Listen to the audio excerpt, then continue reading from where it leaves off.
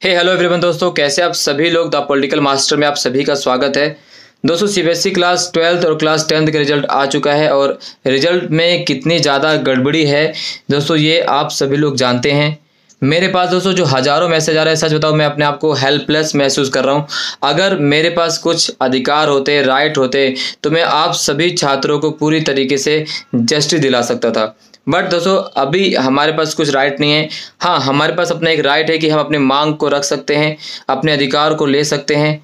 तो दोस्तों, मैं आप सभी की जितने भी आप मुझसे मैसेज कर रहे हैं, जो कमेंट कर रहे हैं, मैं उन सभी चीज़ों को लेकर दोस्तों छः अगस्त को सीबीएसई ऑफ़िस जाने वाला हूँ। आप सभी की बातें वहाँ पर रखूँगा दोस्तों।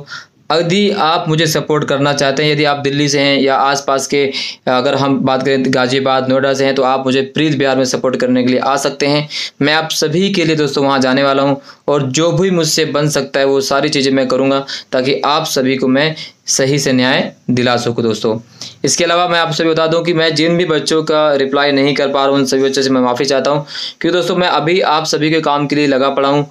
हर किसी से बात करूँ, क्या करना चाहिए, क्या नहीं करना चाहिए। तो दोस्तों, आप बिल्कुल भी निश्चिंत रहिए। आपके साथ मैं हर कदम पे खड़ा रहूँगा। बस आप अपने साथ खड़े रहने की पूरी कोशिश कीजिए, क्योंकि जब तक आप आगे नहीं आएँगे, तब तक दोस्तों कोई और आपका सपोर्ट करने में सक्षम नहीं हो पाएगा। बस यही इस वीडियो में दोस्तों कहना था। बहुत बहुत धन्यवाद दोस्तों। आवाज़ तो हम एक हैं।